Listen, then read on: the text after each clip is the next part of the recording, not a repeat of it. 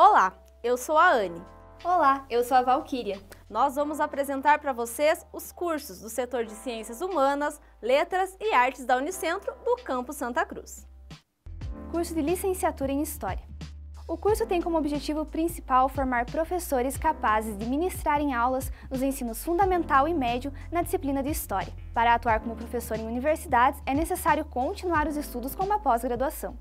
Além disso, o profissional de história pode também trabalhar em museus e instituições de preservação de documentos, assim como pode ser pesquisador em universidades e preparar material didático para a prática de ensino, como livros e apostilas.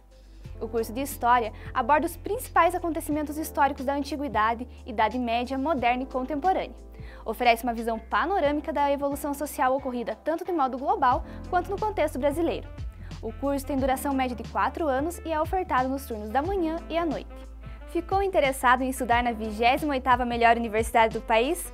Acesse www.3.unicentro.br/cursos e conheça ainda mais sobre os cursos que a Unicentro oferece.